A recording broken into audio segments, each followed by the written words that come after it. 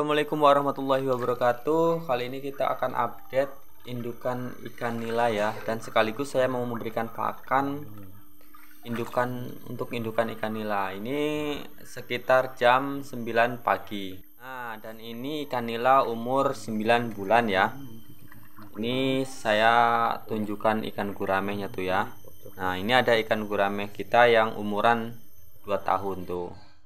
Udah segitu umurnya Uh, dan rencananya ikan gurame ini nanti saya besarkan untuk saya pijahkan sendiri ya. Jadi nanti kalau kita lihat uh, ukurannya sudah besar atau sudah mencapai bobot yang sudah saya perkirakan nanti kita mau pijahkan sendiri ya.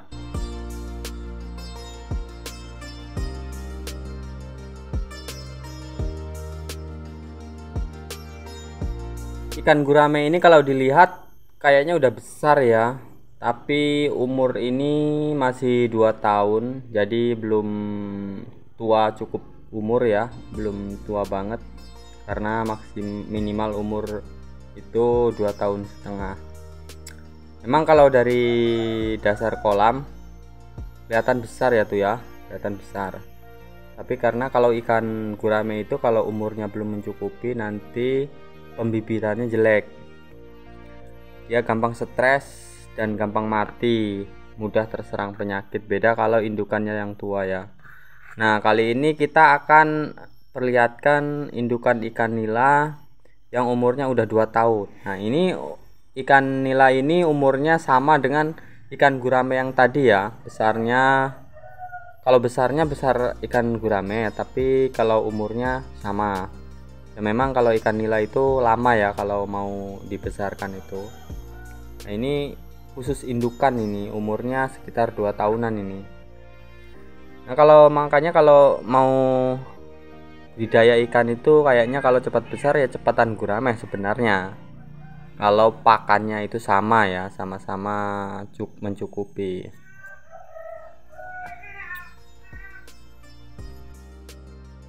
jadi merawat ikan nila itu begini ya.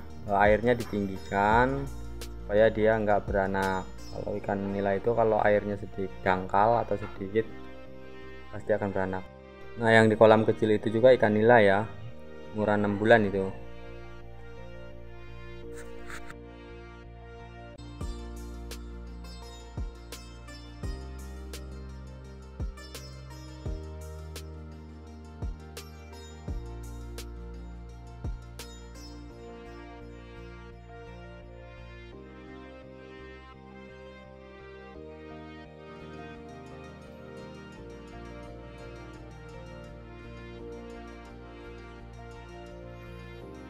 uh, di kali ini kita akan kurangin air kolam ini ya atau kita kuras. Nanti kita pisahkan uh, ikan nilanya dengan ikan guramenya. Jadi nanti kita pisahkan ini ikan nila ini biar guramenya tetap di sini. Ikan nilanya nanti kita pisahkan ke kolam sebelah ya yang sudah nanti yang sudah saya persiapkan. Nah ini yang kecil-kecil ini nanti banyak yang itu tuh ya. Ada masih banyak burayak-burayak yang kecil ini ya. Ini masuk ke kolam sebelah ini jadi dia besarnya di sini. Yang kecil-kecil di kolam itu tadi sebenarnya anakan dari indukan yang besar ini. Tapi dia kalau anakannya sedikit. Untuk kolam ini sendiri pembuangannya di sana. Sambil nunggu air ini kering kita akan lihat ya kolam saya yang ikan lele tuh yang di tengah itu satu dua satu dua nomor dua.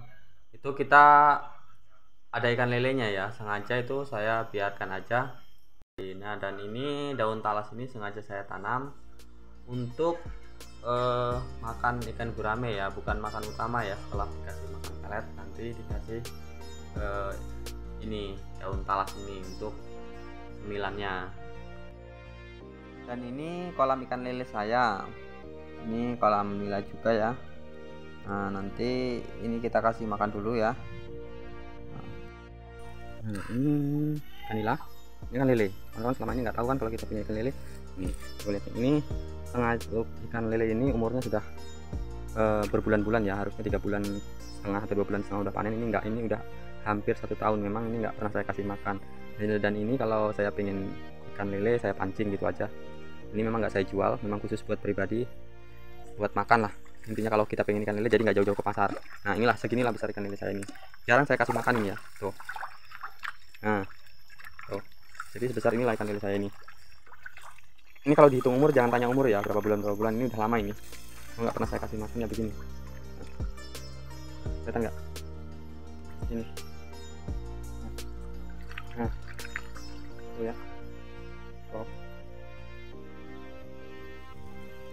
ya kalau dimasak buat makan sehari-hari saya udah bisa ya. Tuh ya udah bisa ya. Tuh. kalau ditimbang sekitar sekilo tuh 9-10 per kilonya.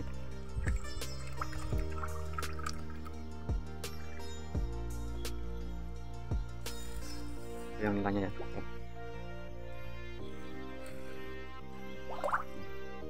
Itu ya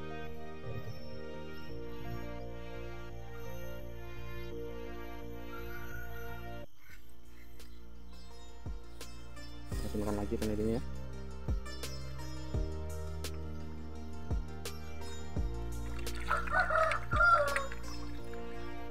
udah ada yang sebesar tangan ya ini khusus buat konsumsi sehari-hari aja